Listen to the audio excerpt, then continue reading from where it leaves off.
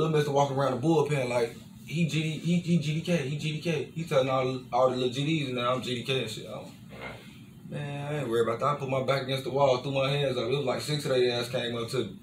Then they paused like, oh, you lucky you ain't on her. When we catch Memo, we beating his ass. The whole time Memo supposed to walk in the bullpen with me in the other bullpen. He stood in the he stood on the other side. He didn't want to come in the bullpen with me.